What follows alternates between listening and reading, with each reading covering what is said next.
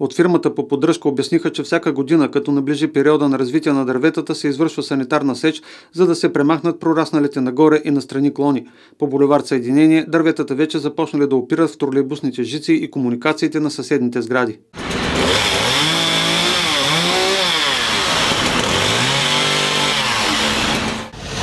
Винаги се извършват резидби под елпроводи, мрежите на тролейбусната мрежа, до сградите.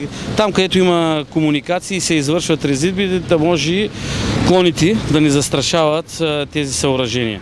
И тая година, като, както виждате, февруари месец е благоприятен, температурите са плюсови и ни гледаме да насмогнем малко с работа и започнахме тук с Боливар Съединение, тъй като тук Боливарда от няколко години създава предпоставка клоните опират в тролейбусната мрежа и в инфраструктурата на сградите и затова сега им намаляваме обема на короните, за да може пак да се развият наново и да станат стабилни.